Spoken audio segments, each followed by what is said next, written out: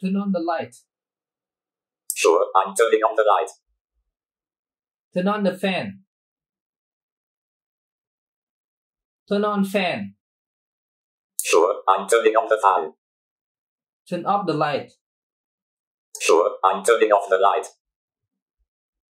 Turn off fan. Sure, I'm turning off the fan.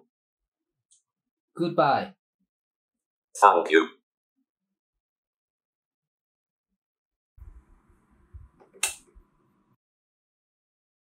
Hello my friend, welcome back to Relax Tech channel.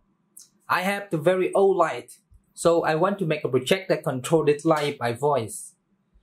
So as you may know, voice control first introduced by Amazon with this device, Amazon Echo Dot. If you already have the device, and now you want to control the lights, there are another project that I will talk about it. After Amazon introduced the first device, Google also introduced the device called Google Assistant. Another product from Google is similar with, with this device, but this device focuses on the audio quality. If you already have these kinds of device and you want to build your, your home or your office nice looking, I recommend that you should you the official device. And what I'm going to do tonight, if you already have the Raspberry Pi, they also a PC, they have the wireless, they have internet connection, they also have the GPIO. So we can use it to directly control our fan or our lights. And on this video, I will show you step by step to do that.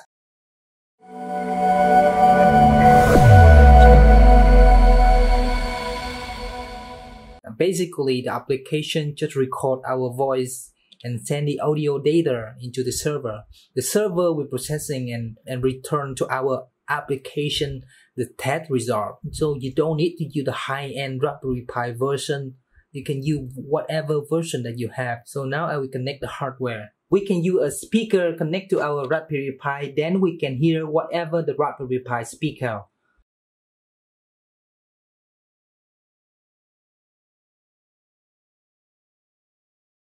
Now I will connect the driver board to my Raspberry Pi.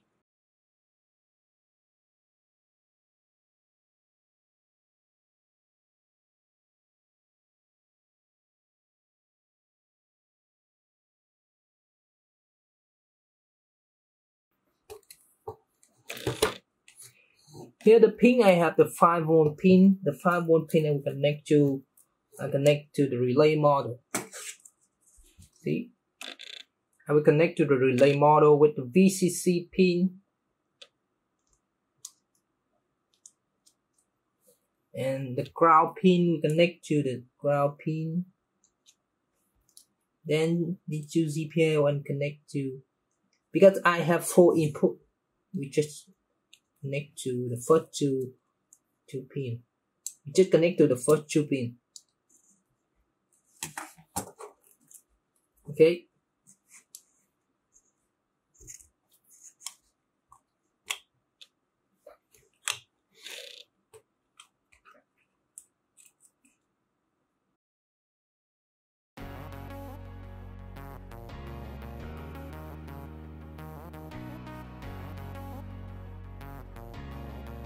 To remote developing on the Raspberry Pi from our PC with VS Code, we need to install the Remote Edit H. To do that, we need to install the plugin called Remote SSH.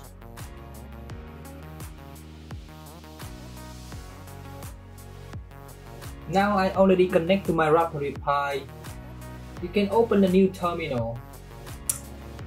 I put a variable calling u equal Now I will bring the variable.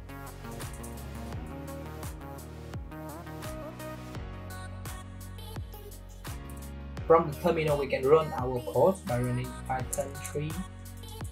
Python 3. We have the variable u that represents our voice. What did the Raspberry will do if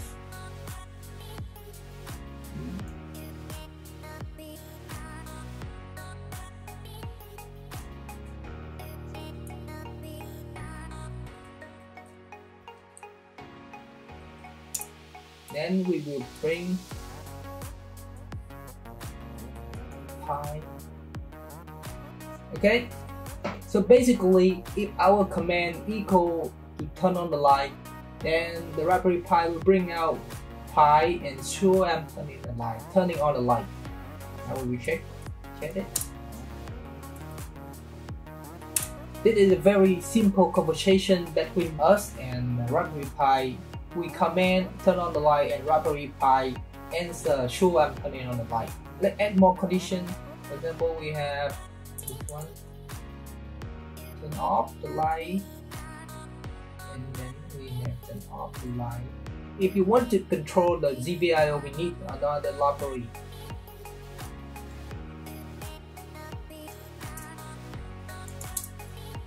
So when we receive the command turn on the light then we just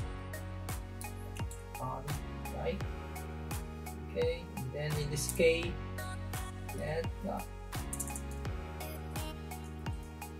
we have the basic thing it work. Now we need to recognize our voice. The next thing that we initialize the microphone. Raspberry Pi they don't have the built-in microphone so we have to use the USB audio device. I modify a little bit. It's different with the code in the internet. We already have the hardware meet I create a variable called pi ear.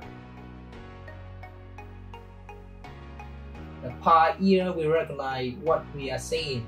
Now we make the code that make the pi ear listen the audio from microphone. To do that, we go to this, this loop.